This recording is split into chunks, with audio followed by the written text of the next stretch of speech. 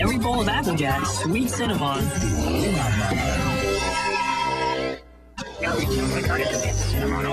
Let's see who's the winner now. that bad apple just won't give up.